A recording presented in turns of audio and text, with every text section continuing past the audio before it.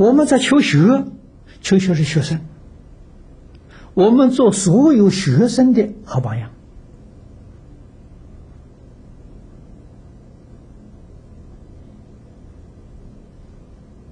这才能纠正社会的错误，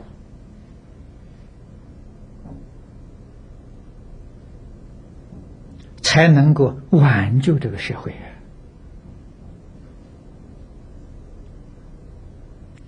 现在这个世间人虽然普遍的在造罪业，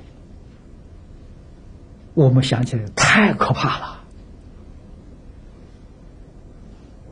啊！为什么普遍在造罪业呢？我们明了，这个罪业它也有因缘果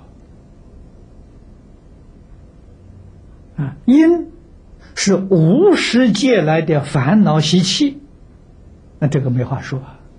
一切众生个个都去做啊。但是，虽有烦恼习气，假如没有外缘的诱惑勾引，他也很难起现行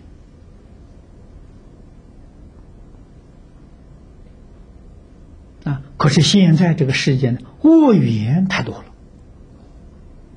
哪些是恶缘呢？科技的媒体是恶缘啊！我们今天打开电视，全世界啊，看看报纸、广告啊、杂志，里面的内容都是讲杀盗淫妄，这是缘呐。里面本来就有这个烦恼，再看到外头这个缘，这一拍就合了。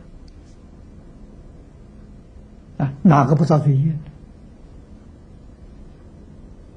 啊？为什么现在造罪业的人这么多，造罪业这么重？比起过去过去式的时候，不要说多了，比起过去五十年前，增长多少倍呀？不止几十倍呀！至少在百倍以上啊！这样下去还得了吗？啊，东西方古老的预言说世界的末日，世界的全世界的大灾难，说这些话，我们今天相信了啊！众生的思想、见解、行为，这个是预兆。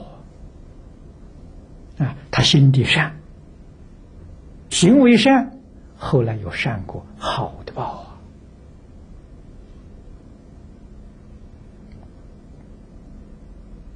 啊！啊，言行都不善，后来怎么会有好果报呢？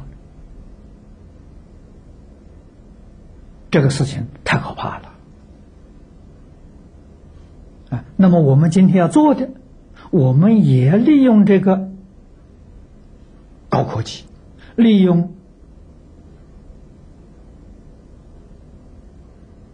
传播这些工具。